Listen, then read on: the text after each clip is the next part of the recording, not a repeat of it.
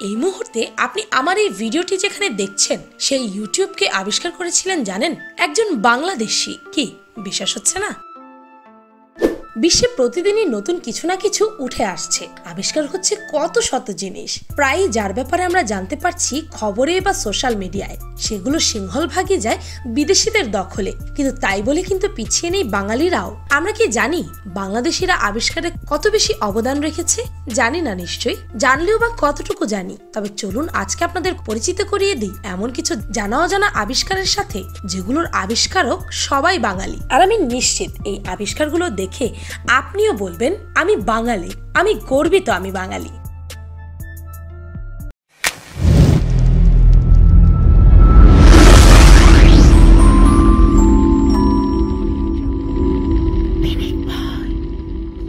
Number one YouTube, মায়ের রান্নার recipe হোক, বাবার দরকারি খবর বা ছোট্ট ভাই বোনদের প্রিয় কার্টুন বিদেশি চ্যানেল হোক বা দেশি, কি নেই ইউটিউবে? ইনফ্যাক্ট এই ভিডিওটি এখন আপনি ইউটিউবেই দেখতে পাচ্ছেন। আর এই ইউটিউব হচ্ছে বিশ্বের দ্বিতীয় সবচাইতে বড় সার্চ ইঞ্জিন কিন্তু এই ইউটিউবের নির্মাতা কে জানেন? কোনো মহাজ্ঞানী বিদেশি নন।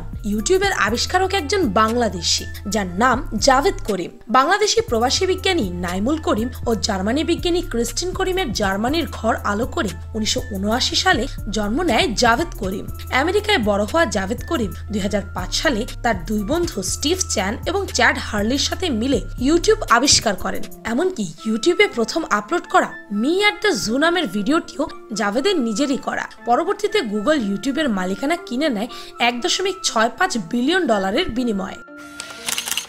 নাম্বার টু হরতাল, মারামারি, গাড়ি ভাঙা, পোড়ানো, দৈনন্দিন জীবনেরই অংশ বলা যায় বাঙালির জীবনের। রোজই খবরের কাগজ খুললে এসব ঘটনা চোখে পড়ে হরহামেশাই। পেট্রোল বোমা মেরে গাড়ি উড়িয়ে দেওয়া এখন শুধু ছবির দৃশ্যেই আটকে নেই। এর থেকে পরিত্রাণ পেতে এক অভাবনীয় সৃষ্টি করেছেন এক বাঙালি। ফারুক বিন হোসেন ইয়ামিন নামের এই ব্যক্তির কাজের ক্ষেত্র অ্যাপ্লাইড সায়েন্স বা ফলিত বিজ্ঞান ও পপুলার টেকনোলজি নিয়ে। যানবাহনের সুরক্ষার জন্য তিনি তৈরি করেছেন পেট্রোল বোম প্রুফ গ্লাস। এই গ্লাসে পেট্রোল বোমা মারলেও কোনো ক্ষয়ক্ষতির শিকার হবে না যানবাহন। বাস ও যানবাহন মালিকদের সম্মুখীন হতে হবে না, বড় কোনো ক্ষতির।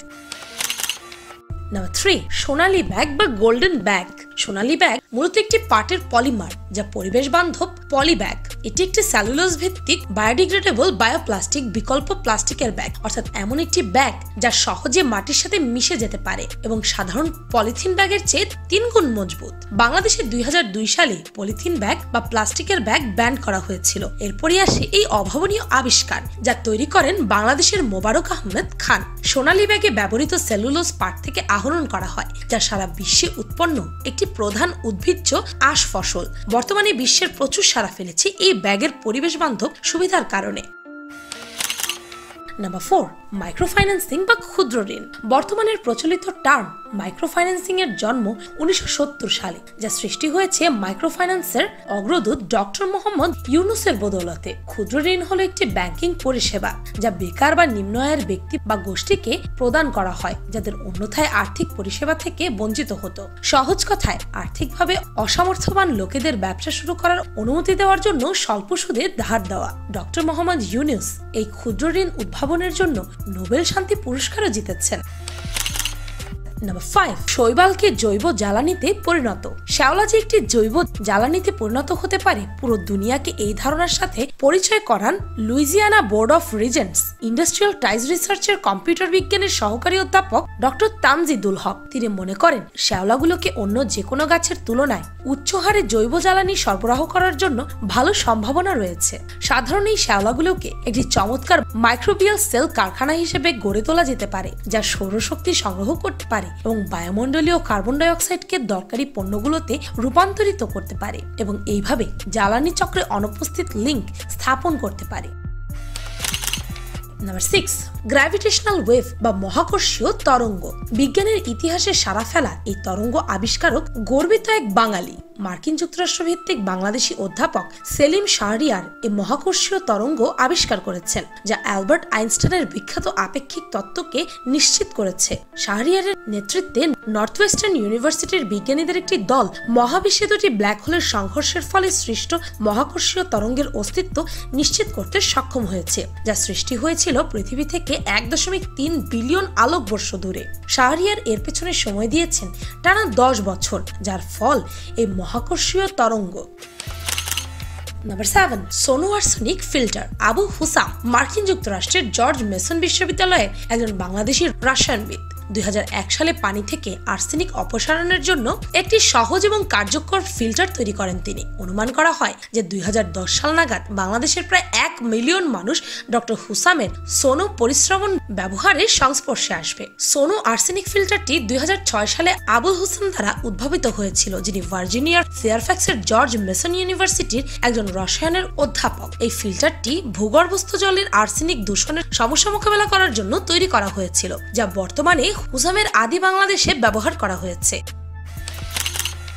Number eight crystal radio crystal radio receiver যাকে ক্রিস্টাল সেটও বলা হয়। এটি একটি সাধারণ রেডিও রিসিভার যা রেডিওর প্রথম দিকে জনপ্রিয়। এটি শব্দ উৎপন্ন করতে শুধুমাত্র প্রাপ্ত রেডিও সিগন্যালের শক্তি ব্যবহার করে। কোনো বাহ্যিক শক্তির প্রয়োজন নেই। এর আবিষ্কারক বাঙালি সন্তান স্যার জগদীশ চন্দ্র বসু। আঠারোশো চুরানব্বই সালে জগদীশ চন্দ্র বসু তার মাইক্রোওয়েভ অপটিক্স পরীক্ষায় রেডিও তরঙ্গ আবিষ্কারক হিসেবে ক্রিস্টাল ফার্স্ট ব্যবহার করেছিলেন। উনিশশো দুই সালে জিডব্লিউ পিকার্ড দ্বারা রেডিও যোগাযোগের অভ্যর্থনার জন্য এগুলো প্রথম ডিমোডুলেটর হিসেবে ব্যবহার করা হয়েছিল।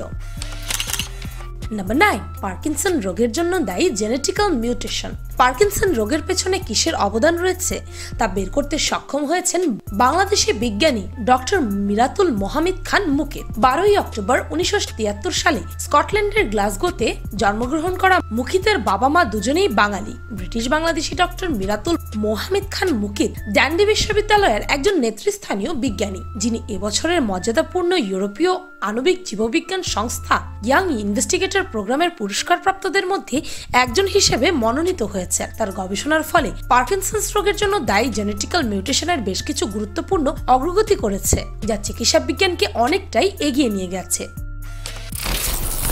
পরিশ্রম আর বিশ্বাস মানুষকে এগিয়ে নিয়ে যায় বহুদূর। বাঙালিরা পারে না এই ধারণা বুকে পোষণ করে যদি এই জ্ঞানী ব্যক্তিরা পড়ে থাকতেন, তবে আজ এত আবিষ্কার দেখাই হতো না আমাদের। তাই আমাদের উচিত নিজেদের উপর বিশ্বাস রাখা এবং সেই অনুযায়ী কাজ করে যাওয়া। যতক্ষণ না আমরা সফলতার দ্বারকাঠে পৌঁছে যাই। ভিডিওটি ভালো লাগলে আপনার ফ্রেন্ডস এন্ড ফ্যামিলির সাথে শেয়ার করতে পারেন। আর পিনিক পাই চ্যানেলকে সাবস্ক্রাইব করে বেল আইকনে অল নোটিফিকেশন অন করতে ভুলবেন না যেন। শুধুমাত্র এভাবেই পিনিক পায়ের প্রতিটি ভিডিওর নোটিফিকেশন আপনার কাছে পৌঁছে যাবে। আমি ফাল্গুনি, আজকের মতো পর্যন্তই দেখা হচ্ছে পরের ভিডিওতে।